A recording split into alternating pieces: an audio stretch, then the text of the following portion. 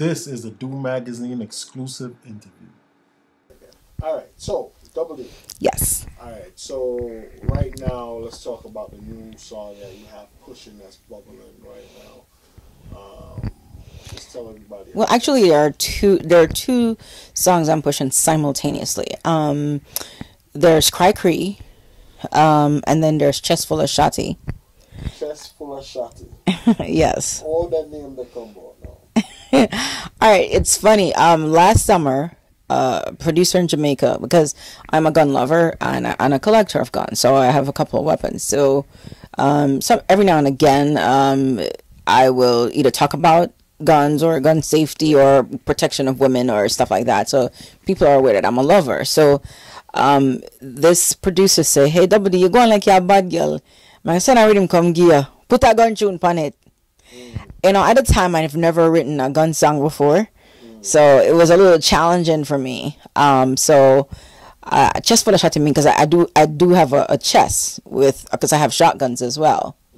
So I wanted to not just really say everything about guns. So I use you know a chest full of shotty. You know, so it kind of hide what I'm saying. Um, you know, but still saying what I wanted to say. So I was just thinking about the chest that I have with guns. So uh, that's how I came up with the name Chest Full of Shotty. But it was just, it, and it's not just glorifying my guns. It's it's like saying, you know, I, I love them. Why? And in my second verse, because, you know, I remember growing up in Jamaica, my mom had a restaurant and we were robbed so many times. And, you know, my mom got gun butted for her money. So I remember, I remember now feeling empowered. I am not afraid of, you know, I mean, having a gun doesn't stop you from dying, but I don't feel helpless. At least I could try to save my life opposed to begging somebody to spare my life just like that. So it's talking about that kind of stuff, just, you know, um, me feeling empowered that I'm able to defend myself. Right. I'm not encouraging killing anyone or anything like that. So it's just saying I, and this is why I love and why I feel empowered in, in having a gun. You know, so I, but I use the term chest full of shotty.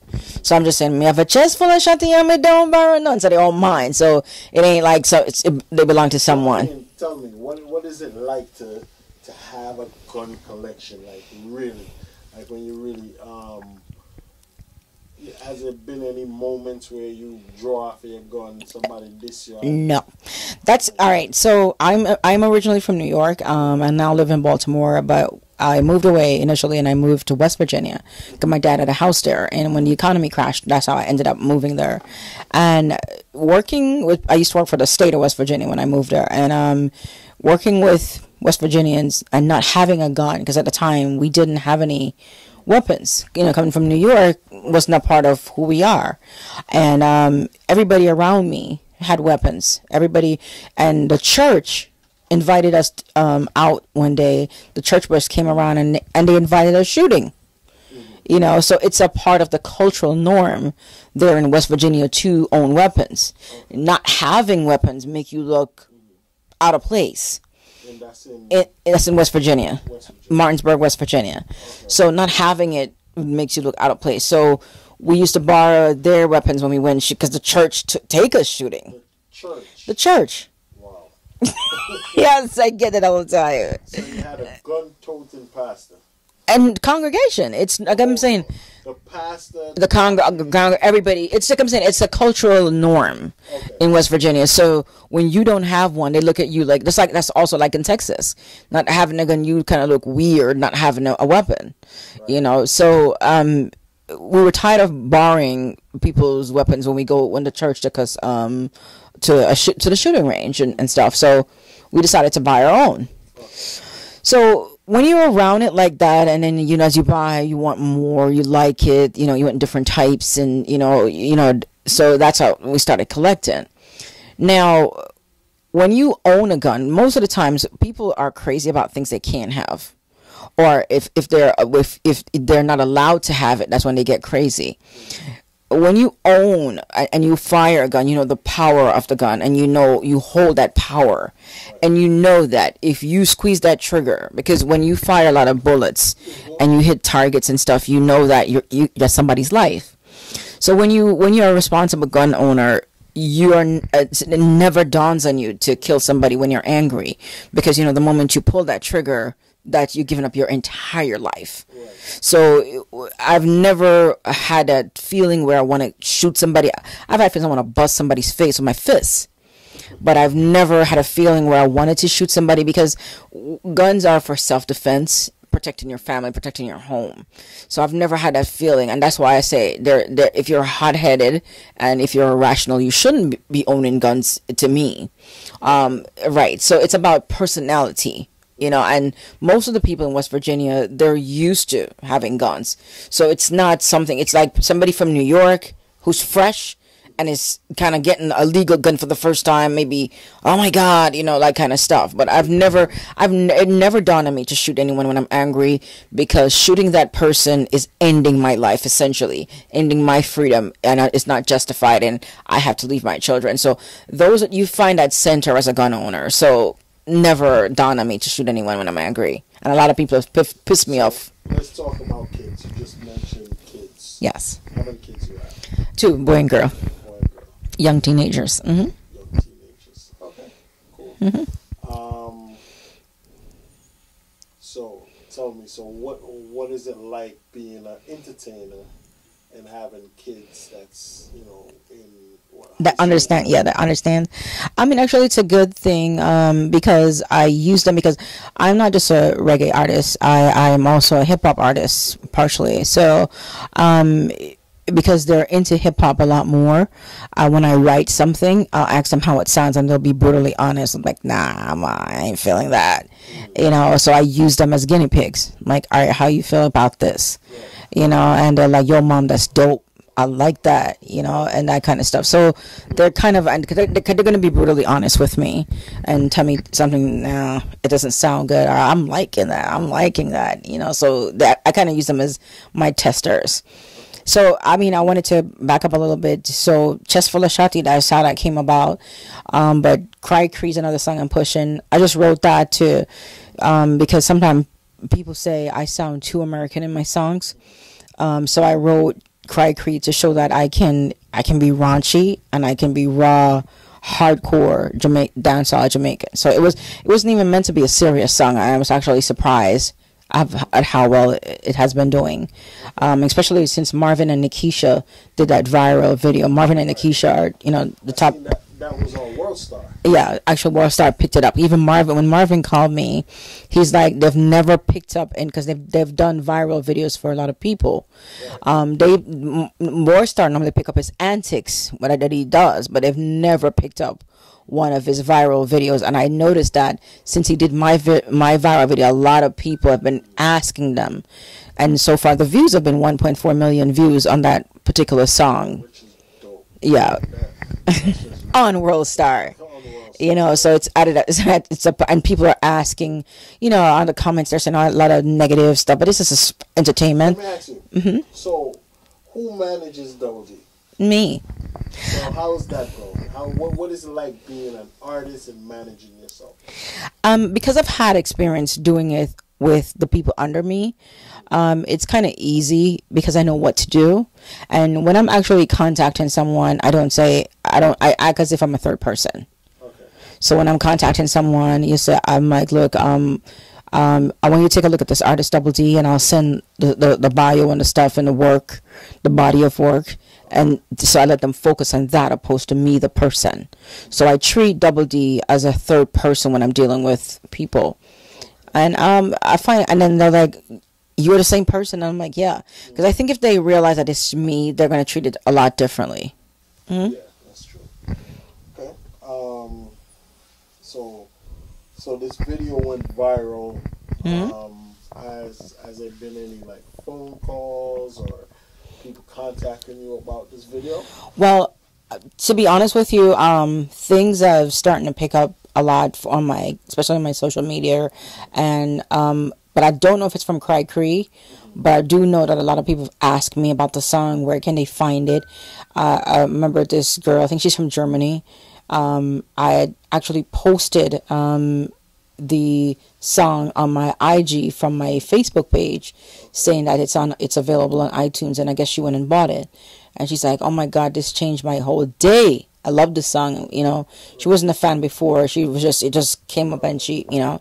So I think it's doing good. I'm gonna shoot a video for it soon. But most importantly, what's happening to me now? Um, Radio Pushes TV um, has picked up my um, career and they're definitely working on my branding. So Radio Pushes TV um, is a branding company that um, they really focus on hip hop artists. Um, so I, am honored to be that other artist that's there with um, a different flavor.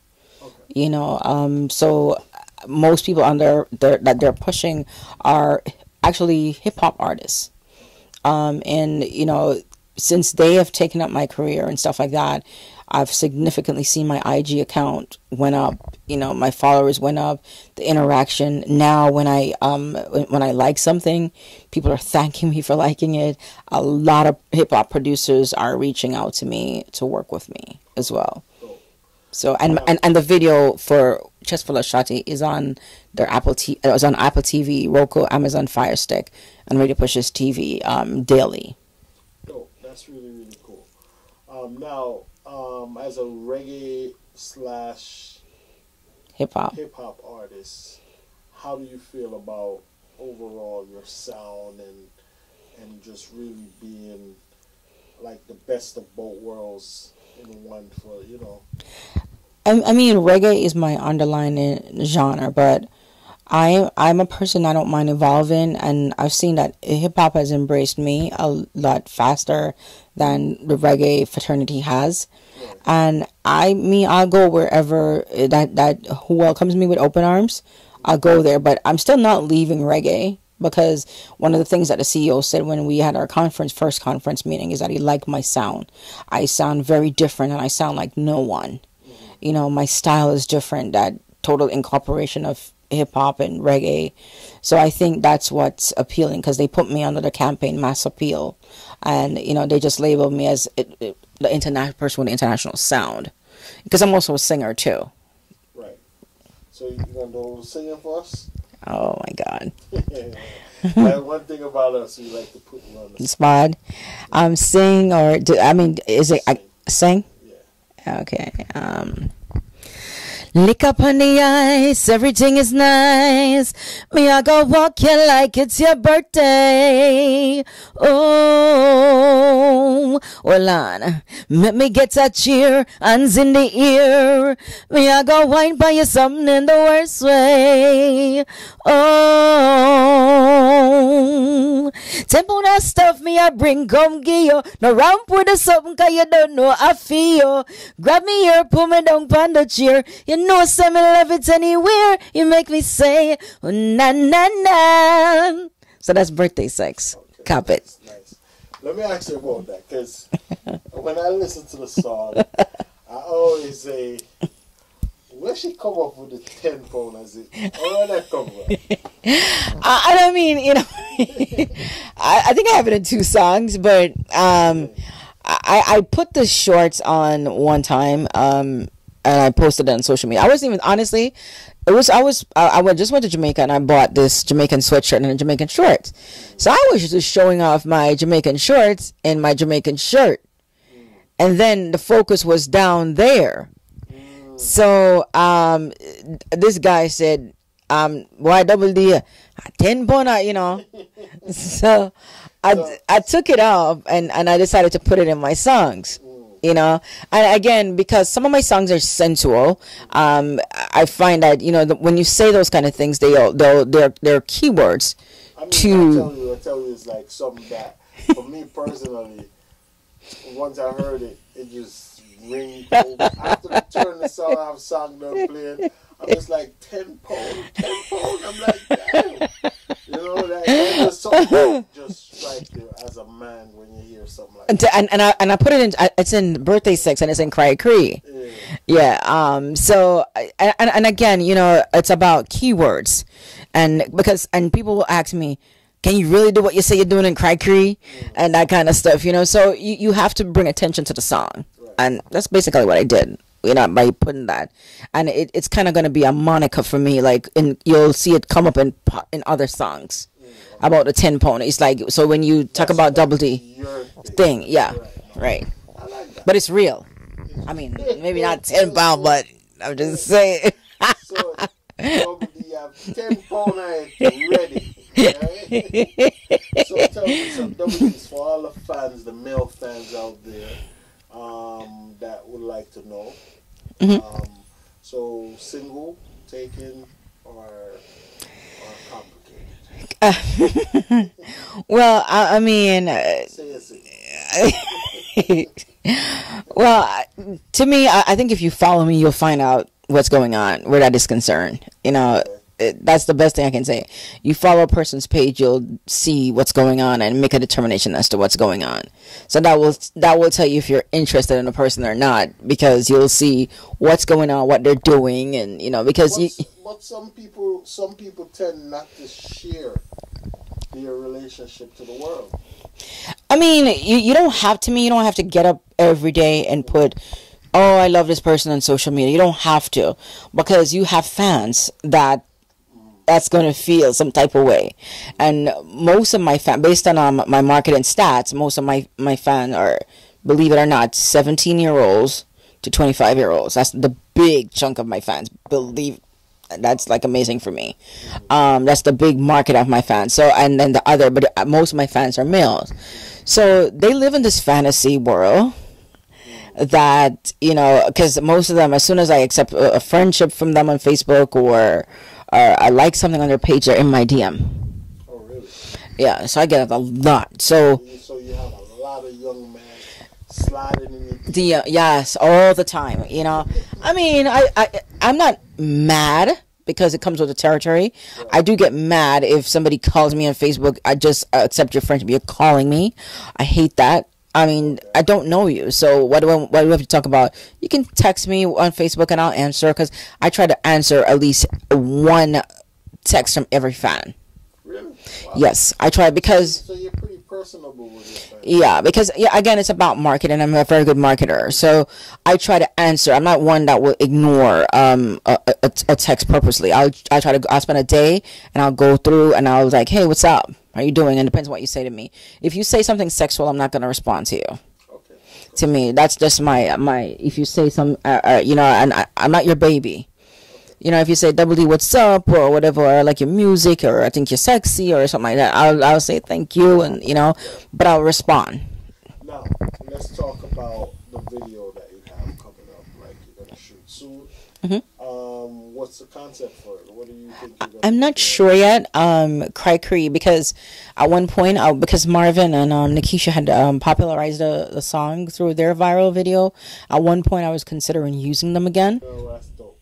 All right. So tell me, me know say you, you know you have a gun collection and you you know you have some bad girl lyrics. so has there any, been anybody that really tried to test Double D yet? I mean, in the industry, um, because I'm really a nice person, you know, and I'm very respectful when I talk to people. Um, I don't come off as disrespectful. But I think what happened is a lot of people when I, that I do business with in Jamaica, they see me as this Yankee, you know. So um, sometimes I remember when I just started, and when they're when I when I'll say, "Hey, I'm paying for mixing a master, and a song," they'll they'll mix it and not master it and stuff like that. And sometimes I have to come really short because I'm from Allman Town, Kingston Four, you know. So I have to bring out the Allman Town in me to let them know what time it is, and you know, I have to say some stuff and yeah, I'm um, I'm just I'm a mountain normal, you know. So yeah, I've I've had that, um, but again, it's never where a situation where I've ever threatened anyone with violence or anything like that. But you know, I have to cuss up bad word and make people know what time it is. I make them know say you're on a punk or whatever. Because I mean, I wouldn't have if I was gentle, I wouldn't have gotten in a male dominated business. I, you know, I was an IT person before, so I'm used to being uh, only female in a male dominated environment. You know, so I'm used to that challenge and all that stuff. So I'm not afraid to work with males, and you know, because you have to have some serious tenacity and balls when you're stepping in any male dominated industry. Um, and especially, I'm not one of, I don't come into business conventionally as most females, where they're at the mercy of the males in the industry. I feel like it's always that way that they're at the mercy of, of Yes. the male. Mhm. Really? Yes. I Um. I think I think there's some there's some strong females in the industry. Um, that, but some some of us. All right, I'm not saying every single female is at the mercy now because I am just lucky. I'm, I'm not one of those. I use my own money. uh, Um, in the business, so having your own money to start a business is the biggest factor that does not put you at the mercy. The moment you come in, because even the other day, Rick Ross said something that, that really pissed me off. Um, where he said that he doesn't sign. The reason why he didn't sign any female artists, he's afraid that he's going to sleep with them. Okay. So like Yes. that. I like that. I like that subject because I, I watched that interview and it was actually very, very interesting to me. Now, I feel like with Rick Ross, that statement could be twisted in different ways. What's your view on his? No, that's what I'm saying. I honestly, I, I used it's, it used to be somebody I respected. I don't anymore from that statement. That statement? hmm Really? Let me tell you why. Um, we um, we are, we as a people, black people, have been oppressed for many years, uh, not been given rights to do stuff. Okay, we never liked it, right? So now we're we're not in that. We are, we've had plenty of opportunities. Where a lot of us are rich. Things have happened. You know, we're educated, um, and you're going to hold a female back because you can't keep it in your pants. Again, I'm uh, as I said to you before. Um, I'm a I'm an HR, so I take that statement very personal as an HR person. Okay. So maybe So- maybe from that perspective, like saying that. So to me, if you don't work at any females at all, mm-hmm. like because there's always booty shaking in his videos. so to me, you're saying that they're good enough to shake their booties, but they're not good enough for you to give a contract. No, but here's what, what he said to me that made sense. He said he's uncomfortable personally. And being that he is he's he's not really just like a, um, a Russell Simmons, for instance. Right? It made it different to me. Being that he's Rick Ross and you would you would expect him to have a lot of groupies him being Rick Ross and now having groupies all the time coming around, now this is where the problem comes in. That's why he didn't really. That's why he didn't really sign a female artist because then you feel like, you know, All right. The the reason why I can never understand that justification, that's saying to me that you also can't control your dick. Sorry. um, if you have a wife or somebody that you love, groupies, because, all right, for me as a female artist in the business, there's a lot of guys that come after me. Um, you know, you get it. It- Regardless whether you're male or female, your DM is filled with people hitting on you. Um, want they they don't really want you. They want what you they think you represent. right, Um, so you get that, and, I, and I'm nowhere near his level, and I get it. So I know that he. eh, But my thing is that um, you can't deny somebody something based on their sex, based on their gender, and you have a lot of talented female artists out there. And for me to, to for you to actually say you're afraid, and my thing is that's why you have managers, you have people in between. People don't have to you don't have to be person personable with the artist